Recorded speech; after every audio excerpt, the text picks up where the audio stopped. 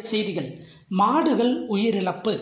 மின் வாரியம் இழப்பீடு. ஒவ்வொரு மாடுக்கும் இருபத்தையாயிரம் ரூபாய் இழப்பீடு வழங்கப்படுகிறது. மனிதர்கள் உயிரிழக்க நேரிட்டால் ஐந்து லட்சம் வழங்கப்படுகிறது.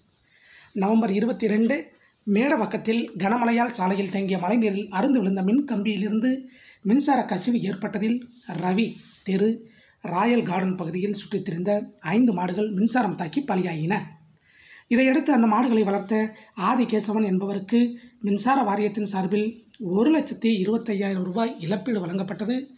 இந்த தொகையானது சோழிங்கநல்லூர் எம்எல்ஏ அரவிந்த ரமேஷ் வாயிலாக மேடவாக்கம் தலைவர் சிவபூஷணம் ஆர் ரவி அவர்கள் முன்னிலையில் வழங்கப்பட்டது. அப்போது மின் வாரிய மேற்பார்வை பொறியாளர் சுகுமாரன் உதவி செயற்பொறியாளர் சுதாகரன் மற்றும் உதவி மின் பொறியாளர் ஜெயகாந்தன் ஆகியோர் உடனிருந்தனர்.